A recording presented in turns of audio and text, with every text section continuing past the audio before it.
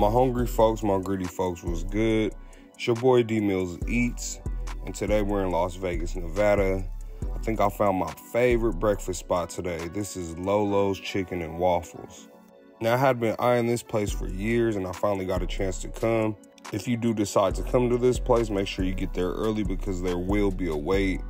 Lolo's does specialize in all your favorite Southern soul food classics, serving items like okra, yams, chicken, catfish, and shrimp, of course. Also serving a lot of amazing drink items such as this Henny Drop. This is a mixture of lemonade and Hennessy.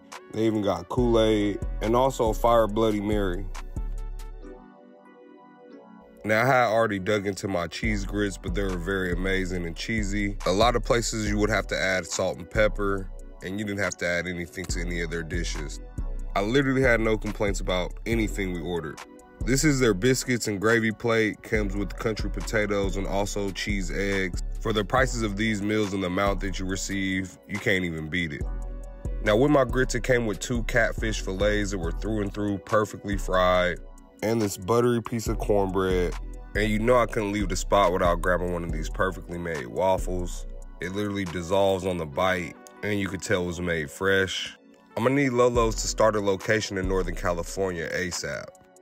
Anyways, if you've been to Lolo's and you enjoyed it as much as I did, go ahead and drop a comment. And once again, it's your boy D Mills Eats.